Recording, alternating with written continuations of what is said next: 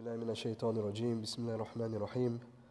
الحمد لله رب العالمين والصلاة والسلام على أشرف المرسلين سيدنا ونبينا ومولانا محمد صلى الله عليه وسلم وأصحاب أجمعين. السلام عليكم ورحمة الله تعالى وبركاته. Alhamdulillah, we praise Allah in all conditions. We thank Allah for granting us our health and an opportunity for us to once again engage with the best of creation, with the Sunan, At-Tibba Nabawi.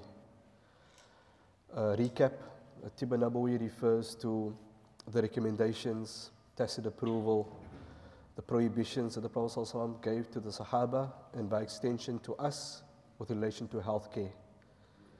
He taught us that every aspect of the deen benefits every aspect of our life. He taught us that our acts of ibadat is a benefit for the ruh in the akhirah, but it benefits the physical body. It benefits our minds and it can be used to assist us with our day to day stresses. We mentioned that modern science proves that the human being in this modern world would be faced by many stresses that affects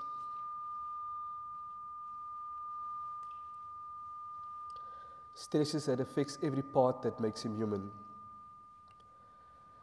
And the world is calling towards natural living, connecting with nature in terms of diet and how we occupy our day to day activities. Modern science has shown that when we delve too much into our, our works and the work environment, it takes from our bodies. And in order to rejuvenate, to cleanse us, to purify, to purify us, we have to connect with nature. So scientists in, in many fields are designing lifestyle programs. And often we find that the best lifestyle programs is in accordance with the Sunnah.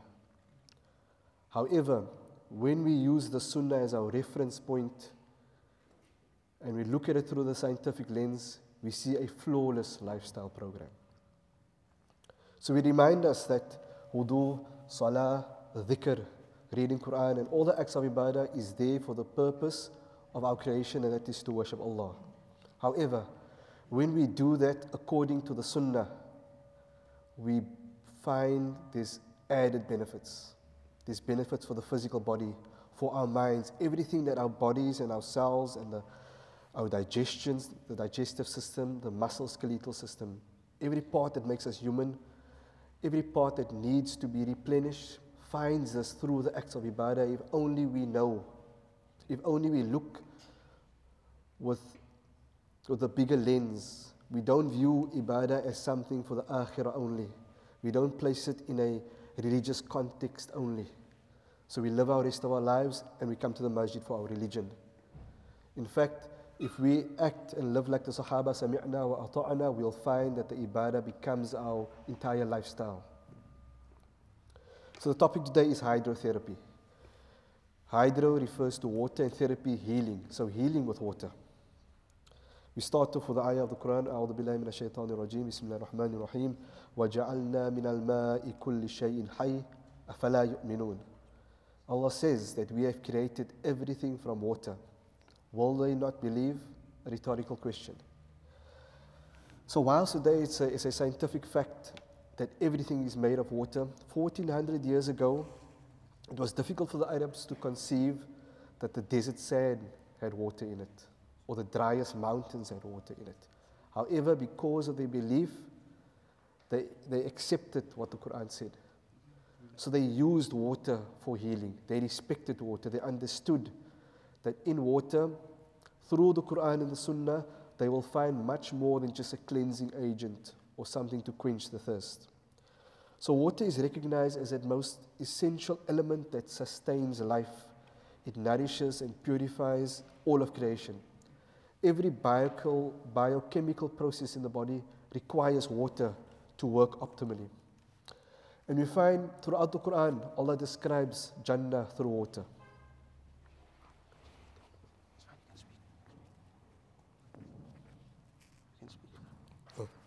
Okay. And we are also one of our highest aspirations is to drink from the pond of Kauthar. So Jannah is described through water. We know the entire earth is made up of three quarters water. The human body, we are made up more than 70% water. When we are born, children are born in a water environment within the mother's womb. They are naturally inclined to water. Allah describe, describes His rizq that He sends to the earth via water. We find we are drawn to water sports like swimming and surfing. And it's a natural thing that people love to be in water. So, hydrotherapy refers to the use of water internally or externally for the treatment of disease or for injury, dysfunction. Hydrothermal therapy refers to the use of water at different temperatures. So, for instance, a hot bath can soothe muscle pain. A sauna can help detox the body through the pores. Wraps can be used at different temperatures to improve blood circulation, to improve healing of ligaments and tendons, as well as packs so we said water is the basic element of life, of life. It can be cooling, heating. When you use heated water, it takes away the cold from the body, it increases blood circulation, it opens up the blood vessels. It can cause a feeling of sedation, meaning it relaxes the body, it soothes stiff muscles. When you use cold water, it can revitalize you, it uh, reduces swelling. So, water has been used for centuries and because the Muslims had a close connection to water, we find it transformed their lives. In the past, we find wherever the Muslim empire went, there was a certain model that caused the rest of the world to, to marvel. They marveled at the Muslims. We find that diseases stopped at the borders of the Islamic empire simply due to the health practices of wudu and ghusl and the daily health practices it actually fended off diseases. And from there, the Muslims developed hydrotherapy. So there before we find the popular Turkish baths, the use of jacuzzis, what they call aquatic rehabilitation, where water can be used to improve joint pain. So if you suffer from rheumatoid arthritis, osteoarthritis, the problem is that the joint undergoes a lot of wear and tear due to weight. But when you use a heated pool, the hydrostatic pressure in the pool supports your muscles.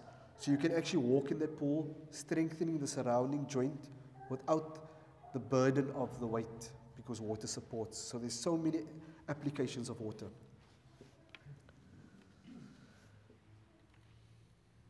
But let's look at the, look at the ahadith. We find the, oh, the opening ahadith, Prophet mentioned that purity is half of faith. A very significant statement the Iman that we rely upon to grant us entry into Jannah, the Prophet said that half of that is reliant on your purification. Meaning, what you do with your physical body accounts for half of your belief. And we find often Allah and His Rasul connects purification of the body to the purification of the soul. Allah says that if you purify your body, He will purify us. And there's various ahadith and Quran ayat where Allah says, Inna Allah yuhibbu tawabin wa yuhibbu mutatahirin.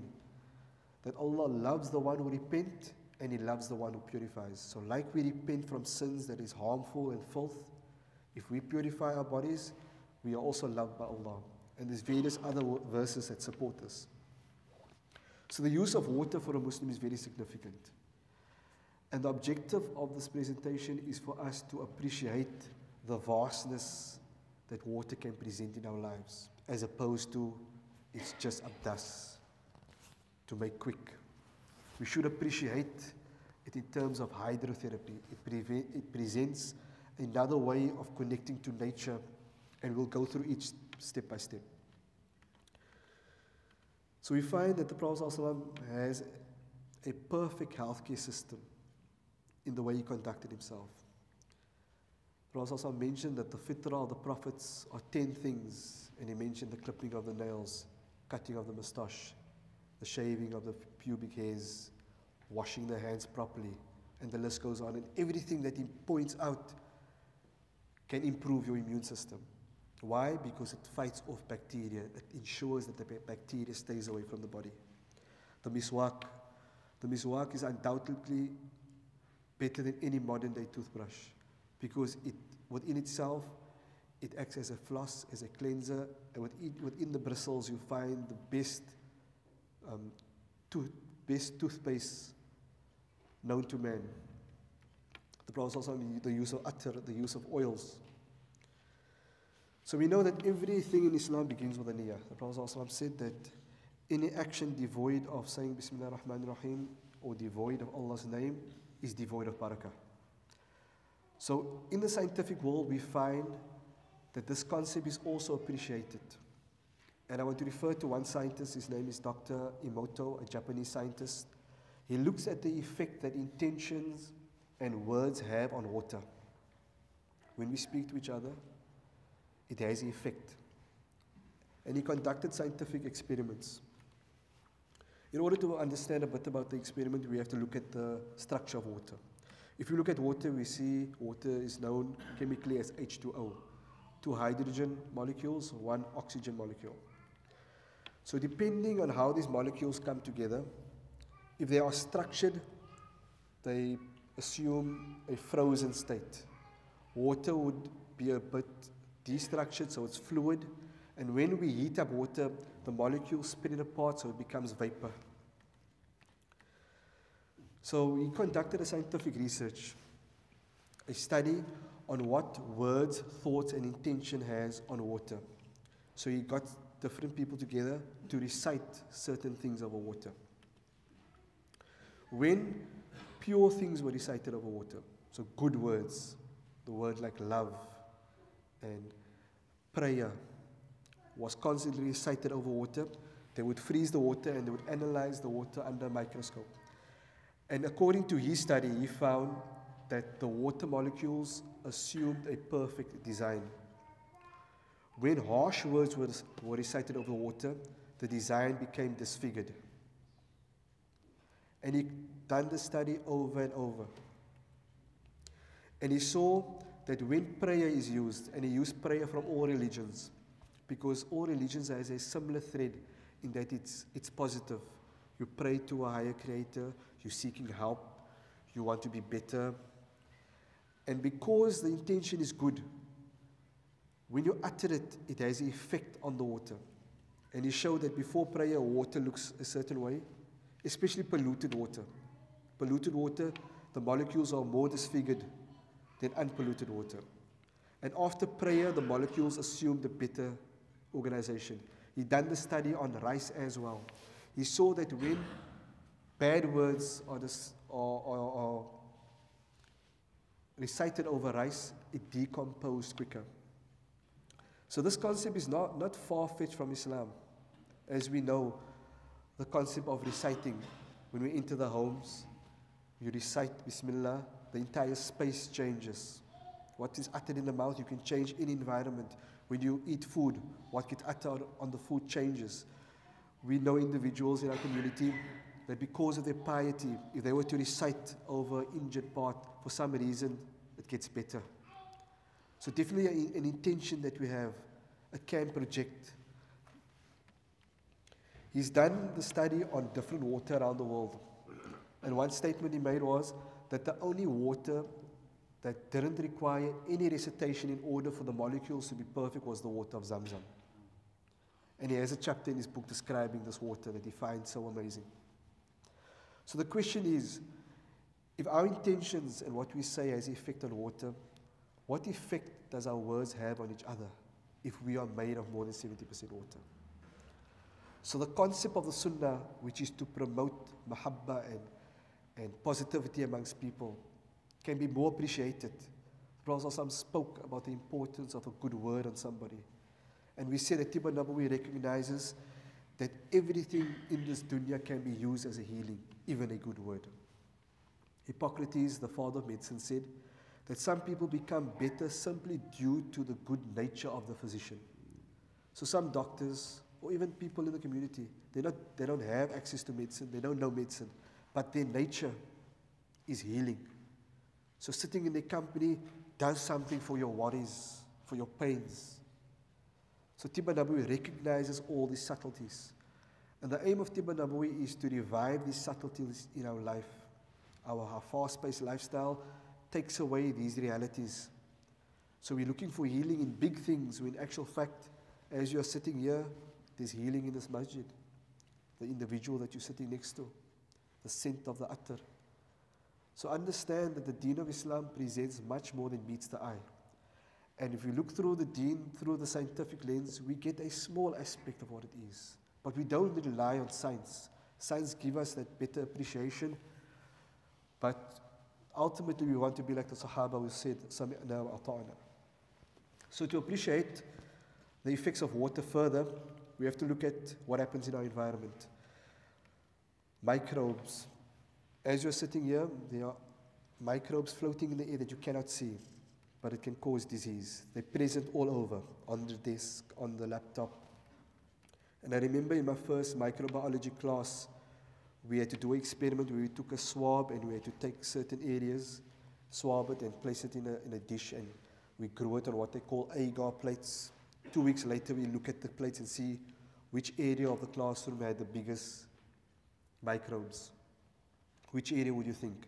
So we took a swab of the desk, of the floor, some of us went to the toilet, we took the swab of the toilet floor, the inside of the brim.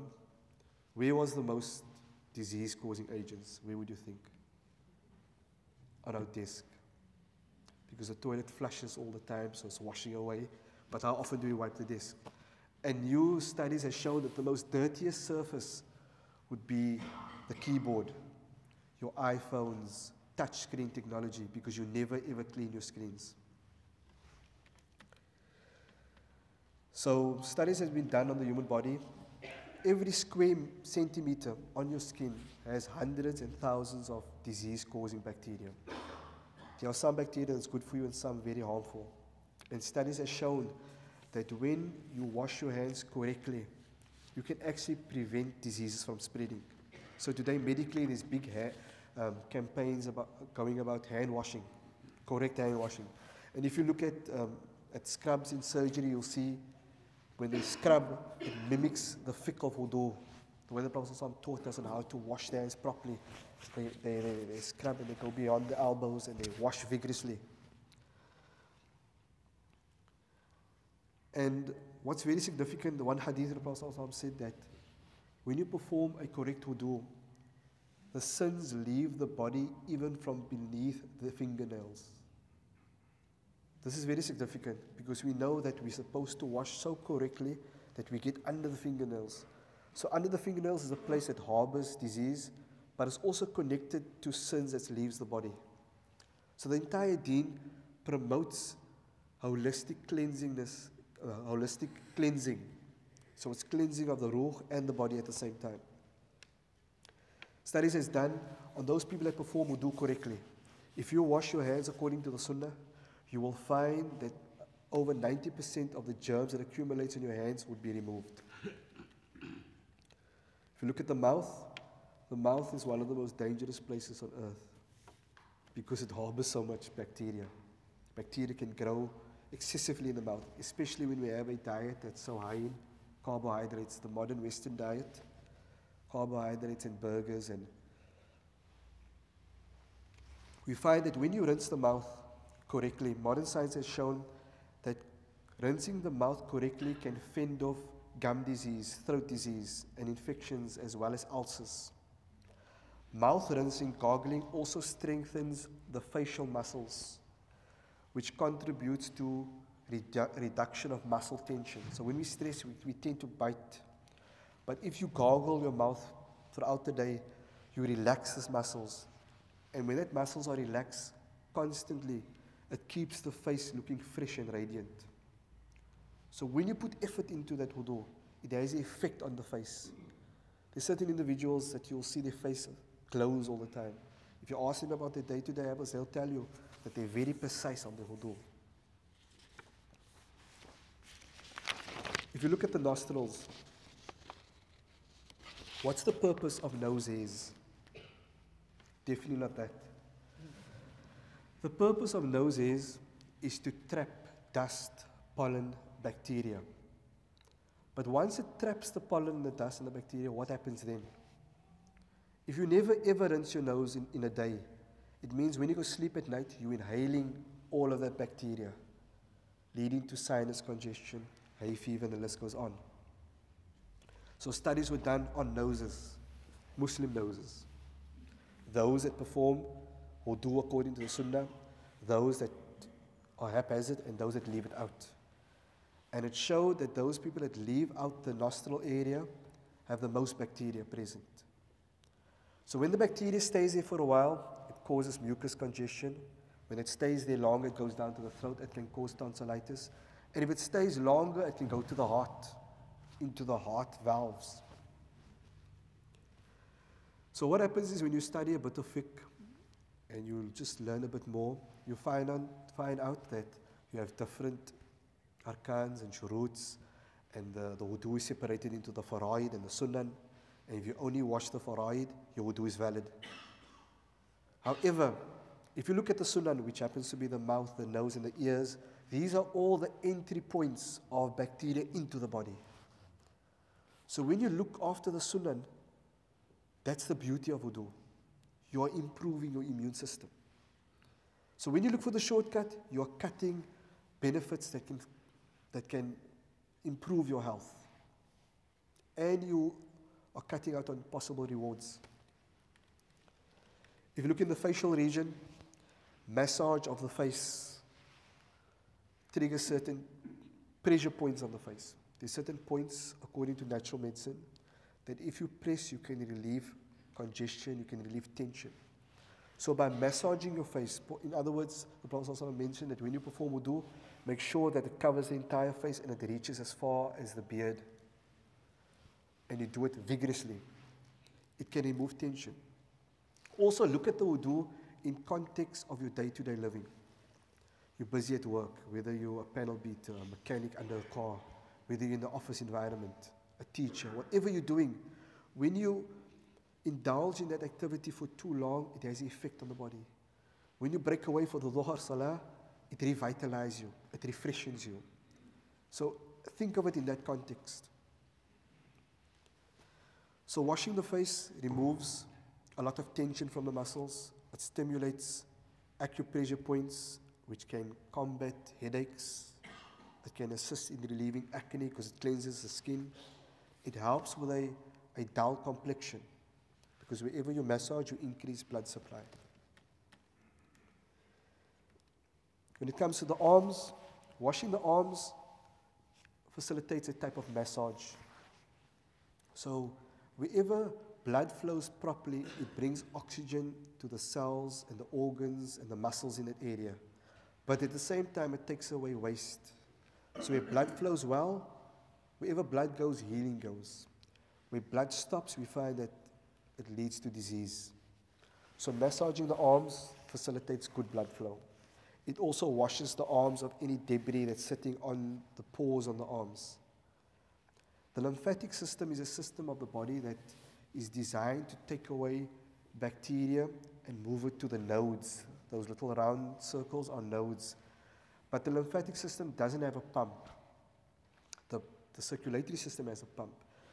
So the lymphatic system requires muscle movement in order to work properly. So when you massage, you're actually moving bacteria that accumulates within the channels in the arm towards the armpits. And when it goes there, the body neutralizes them. So you have the immune system and white blood cells attacks them and destroys them. Massaging on the, on the forehead also has certain pressure points. And we find what's very significant is that the Prophet advised us that when we become angry before wudu, teaching us that wudu is an act of ibadah, but not for salah only. We can use wudu to find emotional healing. So when you look at, if you look at Tibb Nabawi, it describes anger as actually based on the Prophet's hadith. The Prophet said that anger comes from, from shaitan Shaitan has been created from fire, and fire is extinguished only with water. So when any of you become angry, you should perform wudu. So whilst you're in a state of anger, the body wants to rise, become aggressive, move forward. If you remember this hadith, you can control your anger. So this hadith teaches us that the wudu can be used much more than, than as a prerequisite for salah. We should use it as a resource to put us in a state of calmness. The Prophet also mentioned that before you go sleep, perform wudu. Studies have shown hydrotherapy before sleep reduces, reduces insomnia. So, what is insomnia? There's many causes to insomnia. One of the main causes would, would be the, the worriness of the mind, worrying about our daily activities, about our rizq, the day's events, tomorrow's rizq. So we lay in bed and contemplate instead of using a resource like wudu, which can remove that worry from us if we have the right intention. If you look at the ear, in natural medicine, reflexology, the ear is recognized to stimulate different organs of the body. So when you massage the ear, it can have an effect on certain organs. So if you press on the earlobe, according to reflexology, it affects the eyes, so maybe it'll cause you to blink. You can try to do it. Doesn't really work, I'm joking. However, according to the reflexologists, it affects the, the eyes in some way. Come to the feet, reflexology also recognizes certain portions of the feet has effects on systems of the body. So when you massage your feet, it can relieve tension because the feet is also symbolic of heavy load, of carrying a heavy load throughout the day. The responsibility that you have, running up and down. So when you massage your feet, you, you're caring for the body but also you're cleansing yourself for wudu. The Prophet also mentioned that on the day of Qiyamah, my ummah will come with bright faces and limbs because of the traces of wudu. So whosoever is able to increase his brightness, let him do so. Indicating to us that when you perform wudu, the benefit is beyond our comprehension. It will benefit us in the akhirah and science proves that it will benefit us in the dunya. So the objective of the lesson is to look at this act of ibadah as much more as something that I just need to perform salah. Use it as a resource throughout the day.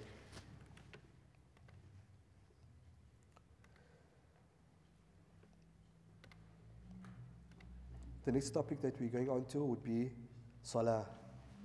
The postures of the prophets, also referred to healing in motion.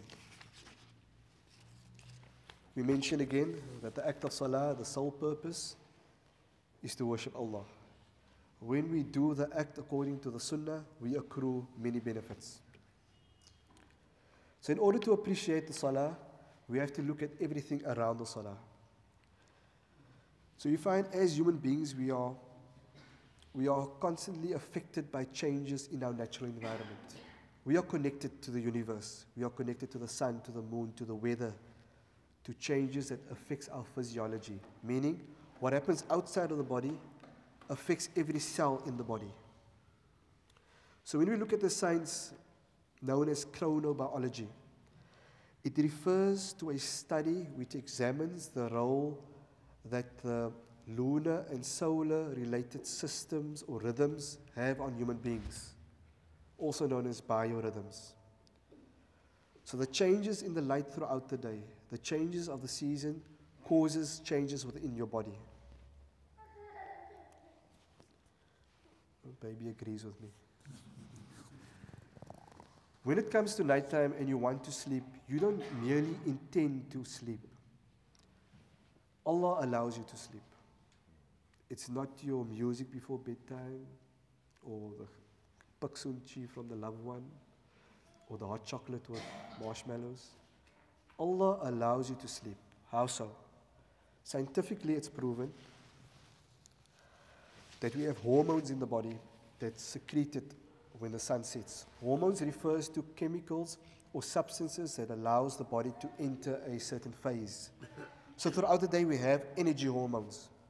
When the sun sets, the photoreceptors in the eyes and the entire body's detection mechanisms picks up that the day is turning into night.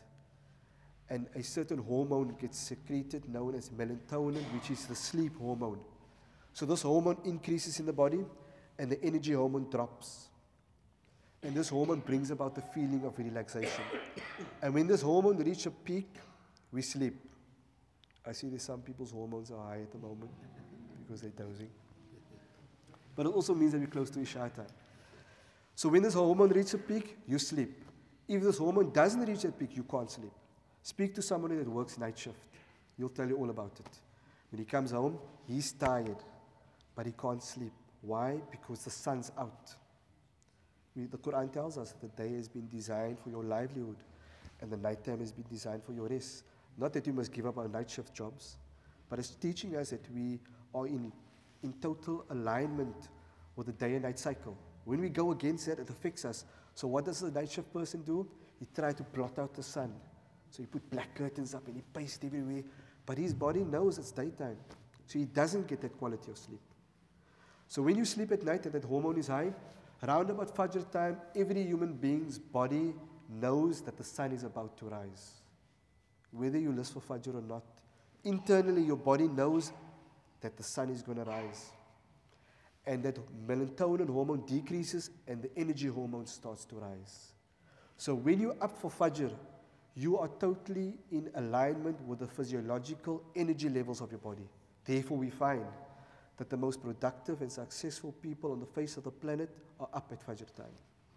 Speak to the Hafiz, or the businessman, or the bricklayer, or the foreman.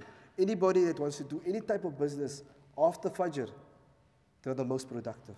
For some reason, they work a short amount of time, but they get the most work done. And if you look, look at this famous book, The Seven Traits of the World's Most Successful People, one of the traits is all of them are up at 4 a.m. We're talking about billionaires that had nothing, and they became successful business people because they acknowledged that when you're up early, you get the most out of the day. And the Prophet ﷺ taught us that the tools, raka'ahs of Fajr is worth the entire dunya. Meaning that when you're up for that time, you are the most productive that you can be. If you follow the hadith further, where the Prophet ﷺ mentions that it's important to sleep straight after Isha, you maximize on that quality of sleep. And when we look into the world of REM sleep, sleep cycles, it shows that there's different phases of sleep throughout the night. The sleep that you get from 11 a.m. to 2 a.m. has the highest quality. If you're in bed that time and you're sleeping, you will get the most deepest quality of sleep. You can never get it anywhere else out of that time. Therefore, if you sleep, the person that sleeps after Isha, naturally they wake up Tahajjud time feeling the need to do something. So Fajr is not a problem. So understand that your body innately wants to be up at a time. It's our habits that cause us to make it difficult to get up at a time.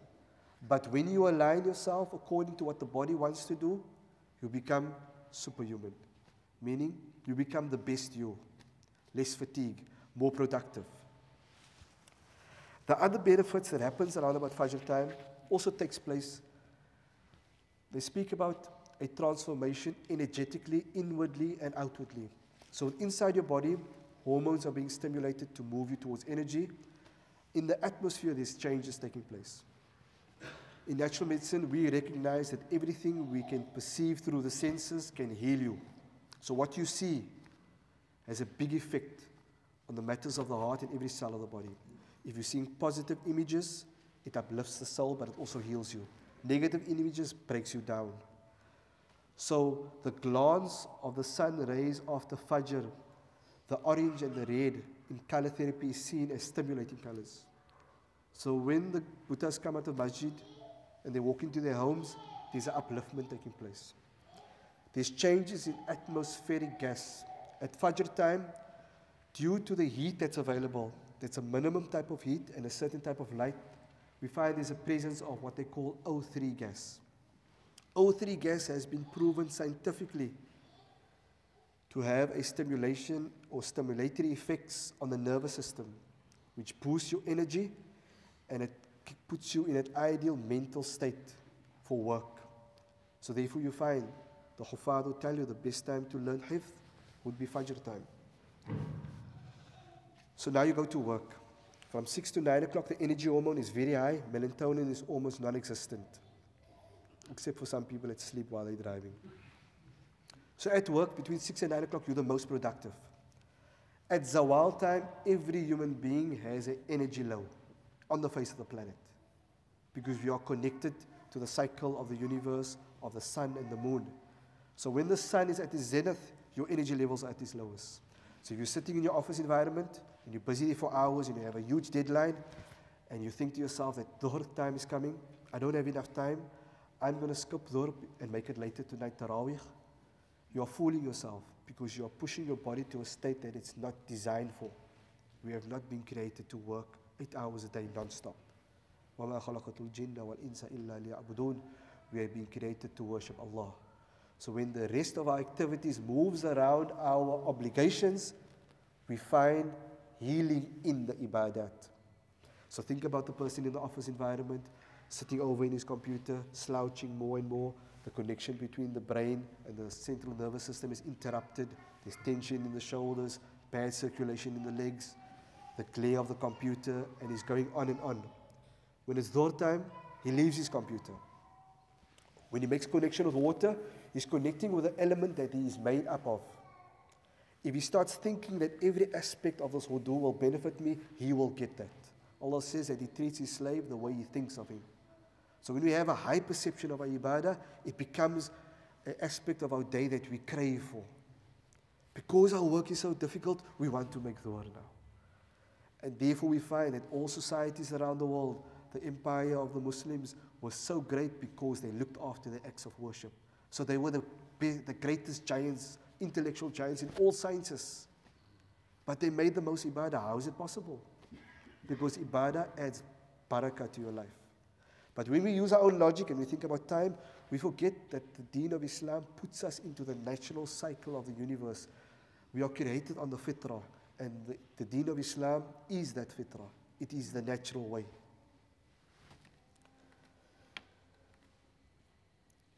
So I spoke about the blood circulation.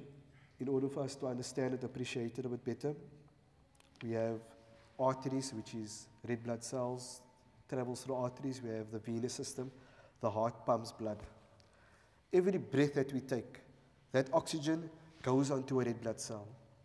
The heart moves the cell through the arterial system to every organ of the body. This is with every breath. That blood cell carries nutrients, oxygen, hormones, everything that every part of our body craves. When it gives that to that part, it takes away the waste, which is the blue cell, travels back up to the lungs, and we blow it out as carbon dioxide. So that process, as long as that process is working perfectly, our body organs will work properly. Whatever job you do will cause stagnation of some body organ. When you sit for too long, bend for too long, stand for too long, carry for too long, it exerts pressure on some part of your body. Therefore, we find that the salah is performed at five regular intervals throughout the day, which is according to the natural cycle of the universe, that's easy on the body, that facilitates correct blood flow. So let's look at each, position, the qiyam.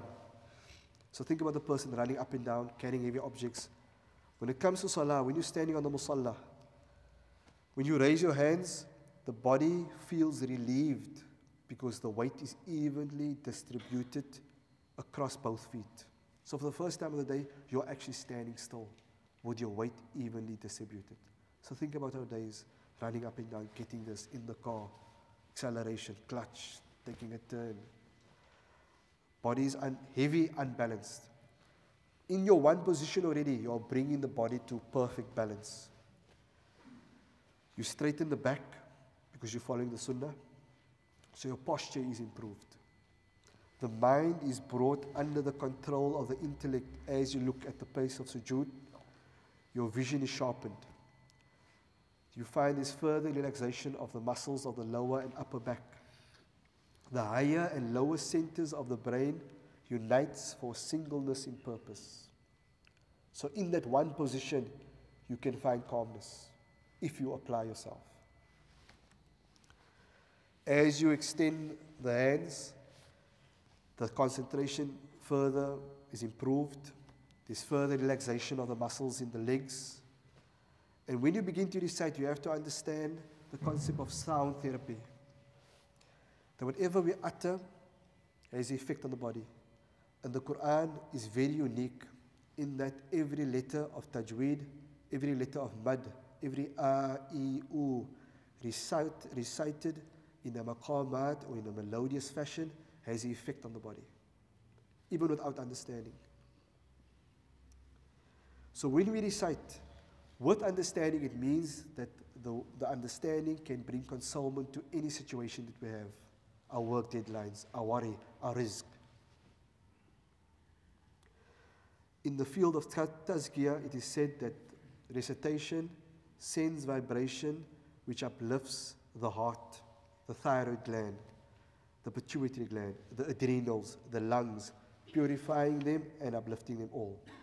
So I'm speaking about the physical benefits, emotional benefits, but different ulama in different fields will speak about different benefits. In the field of tazkiyah, they'll go much deeper. When you perform ruku, according to the Prophet's ruku, the Sahaba described that his back was straight, it was horizontal. If you were to put a glass of water on his back, the glass, the water wouldn't move. If you perform that, that type of ruku, you will find that the muscles of the legs are toned. The muscles of the abdomen are toned. So if your back is straight, you strengthen the abdominal muscles. So if you want a good six pack, perform a good ruku. It is also said that over time, this posture improves the personality, creating a sweet kindness and inner harmony. So when you go into ruku, remember that the blood rushes to the brain, to the lungs, to the upper torso, bringing oxygen, nutrients, hormones, taking away waste products. When you stand up, the blood returns. When the blood returns, it relieves pressure points in your neck, shoulders, the, the, the, the trapezius muscle, which are areas of tension. So whenever anybody's stressed, you know that if you feel the neck muscles, it's very tense. So in one position, you can relieve the muscles and relieve tension.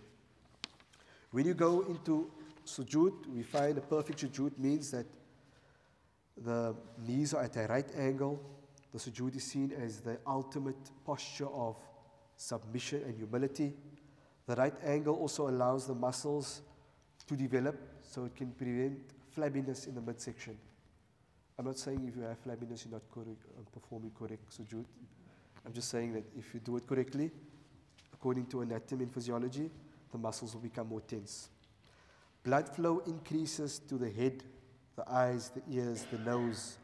It allows mental toxins, waste products that builds in the brain, to be pulled out of that area.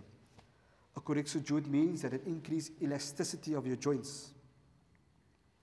It is said that this position gets rid of, of vanity. It's the closest that the, the, the, the slave is to his Rabb. When you perform a second sujood, it would mean that every part of the body would have achieved proper blood circulation. When you sit in the tashahud position, we know according to Imam Shafi'i, the right leg is raised, the right foot is raised, which means that you put pressure on the liver region. Whenever pressure is placed on any organ, it forces blood out of that organ, so it has a detoxifying effect.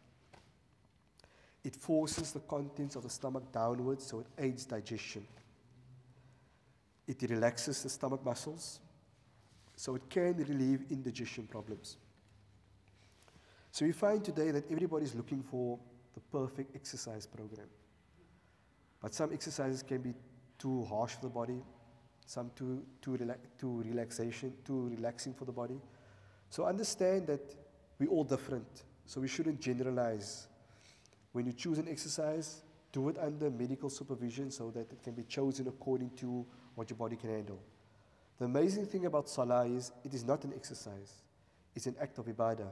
However, it benefits every part of the body the joints, the respiratory system, the brain, the digestive system, the muscle skeletal system. And if you were to calculate the different postures in the day, for instance, if you were to just perform the faraid, in one day you'll perform 119 physical postures. In a month, 3,500. Over a year, 42,000. Over 40 years, more than 1 million, close to 2 million postures. If you were to go to a sports scientist and say, if I were to do these movements for the rest of my life with using water as hydrotherapy, what would you say about my health? Through the science of natural medicine and sports science, they will tell you that you have a perfect system that is well designed for the body at perfect intervals throughout the day.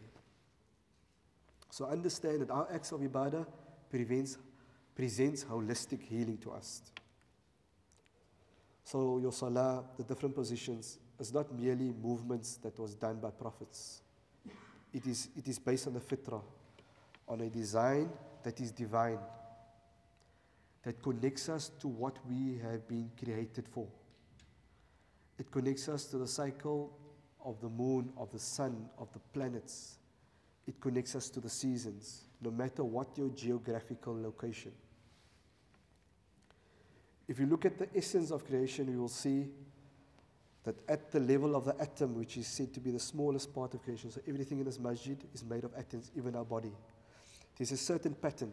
In the middle, you have the nucleus, and around the nucleus, you have a rotation of electrons and protons in an anti-clockwise position. So there's a pattern at a micro level. When atoms come together, it forms cells. If you look at certain cells, we see there's a movement in an anti-clockwise position. When cells come together, they form tissues which form organs. If you look at the human body, we will see that the blood circulation system moves in an anti-clockwise position perfectly. So at the micro level, there's a design. At the macro level, there's a design. On the very planet that we are living, the Earth, the, the Earth rotates on its own axis, axis in an anti-clockwise position. In our solar systems, all the planets rotate around the sun in an anti-clockwise position. And it is said that galaxies move in the same direction. So at the micro level, there's a design that Allah has ordained. At the macro level, there's a design that Allah has ordained. And it all follows a certain pattern. And our acts of ibadah follow that same pattern.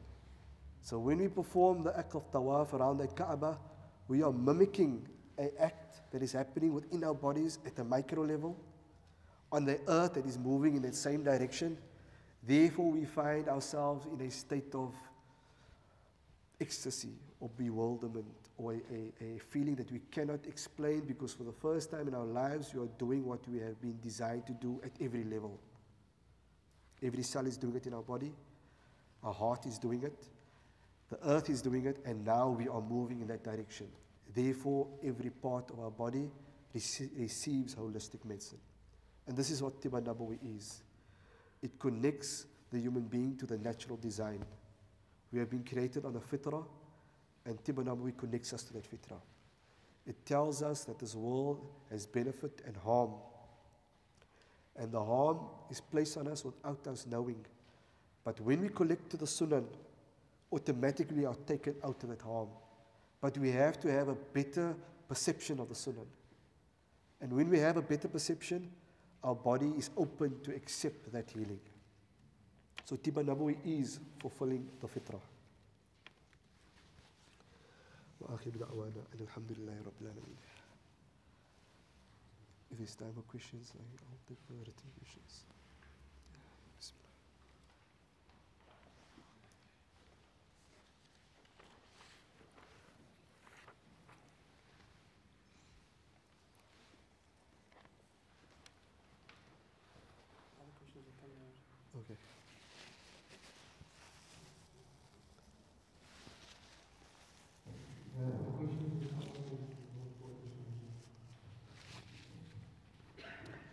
Question is Is there any harm in sleeping immediately after eating?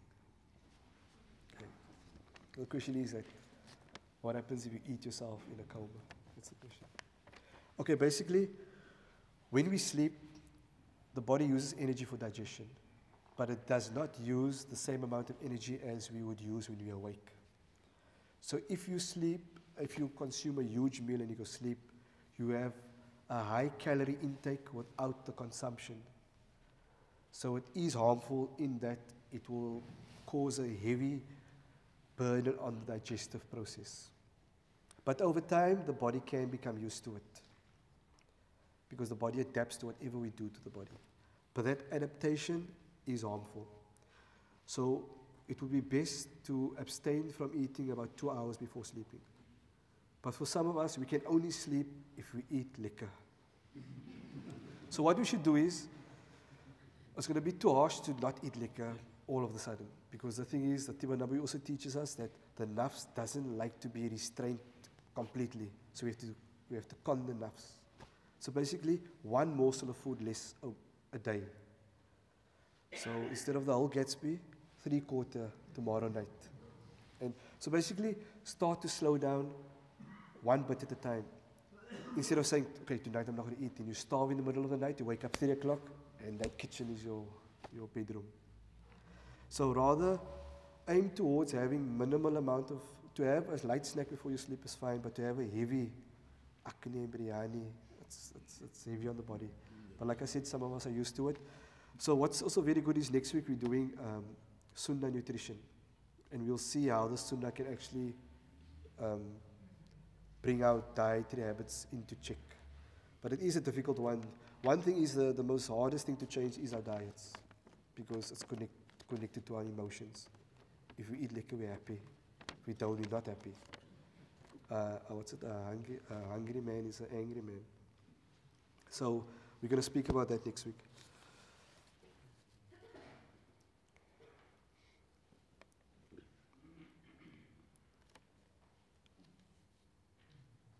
Okay, the question is um, so what happens if we don't drink water and we only drink tea and coffee?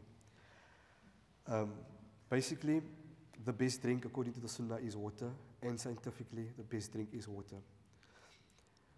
Water is needed for every part of the body. Without water, the cells in the body cannot communicate, the processes cannot happen efficiently. Tea and coffee is like third grade water, not even second best.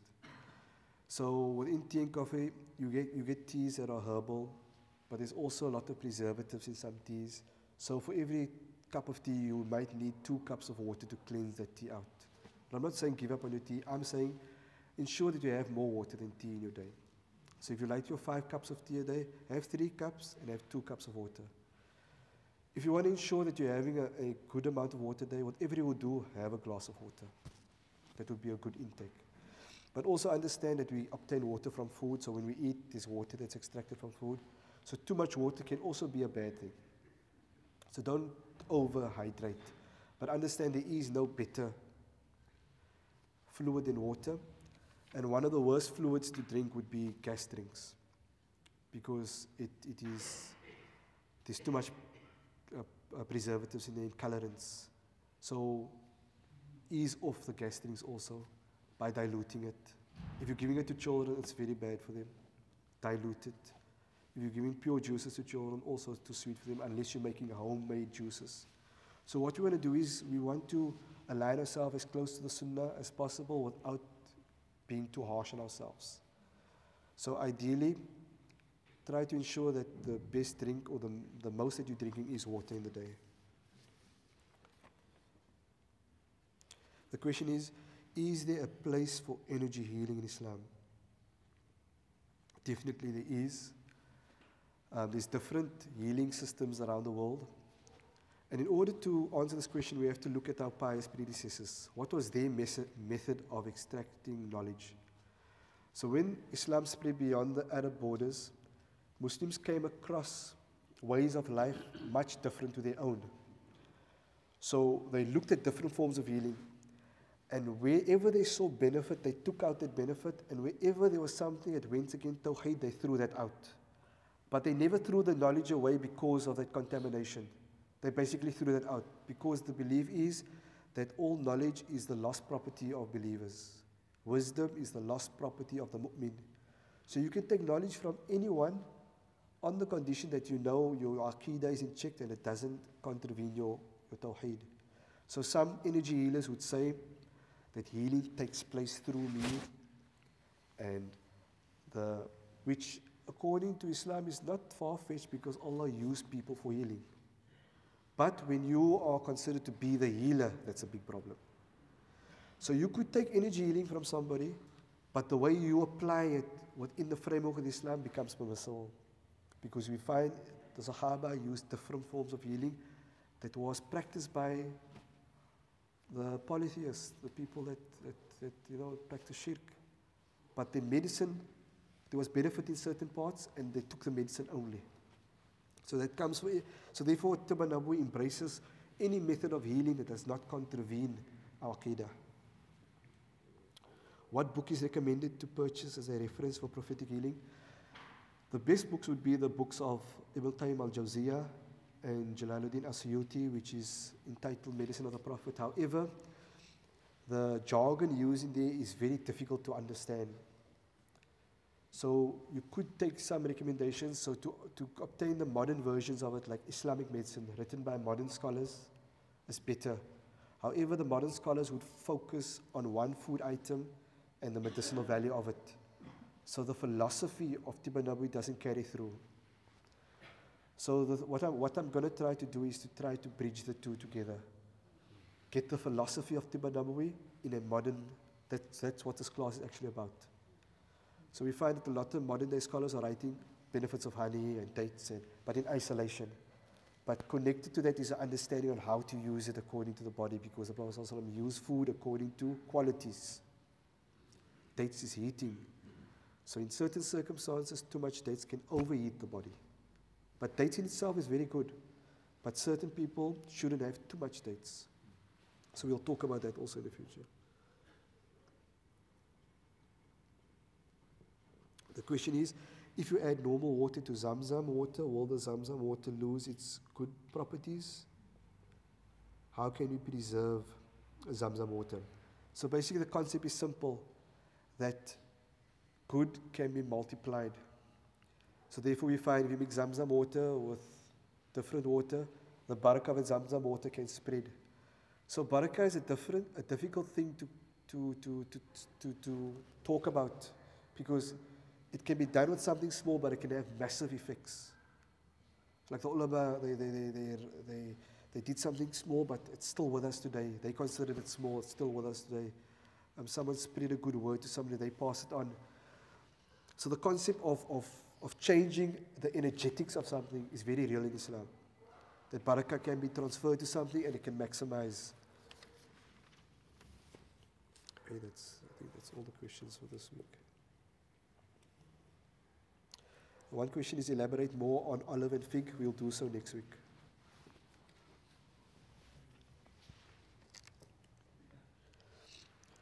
How bad is energy drinks to your body on a daily basis? It depends on the person. Our bodies are all different. We can tolerate different things.